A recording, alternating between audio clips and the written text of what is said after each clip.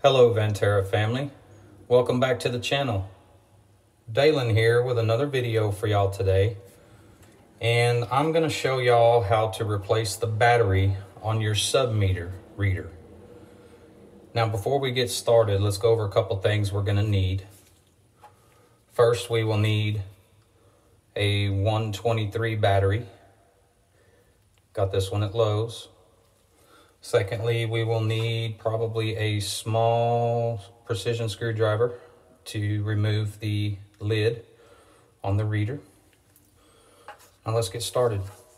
First things first, you're gonna want to locate your reader. This one happens to be above the water heater in the main water supply of the apartment.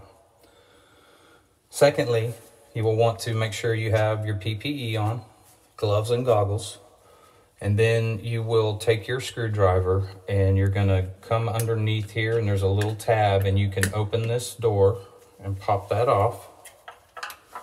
Here you will see your battery inside there. We're going to remove the battery, the old battery, with the new battery and it shows you here, there's a positive symbol with an arrow down. So that means we're gonna put the positive side of the battery down I'm gonna snap it into place. And then right here on the bottom, we have a reset button. We will hit our reset and there we saw our flash. And that is a battery replacement and a reset on a sub meter reader. And you simply can just put your lock tab back on. And there you have it, ladies and gentlemen. That's all there is to it. So be sure to hit the thumbs up if you like this video and please subscribe to our channel and feel free to leave comments below on what you want to see going forward.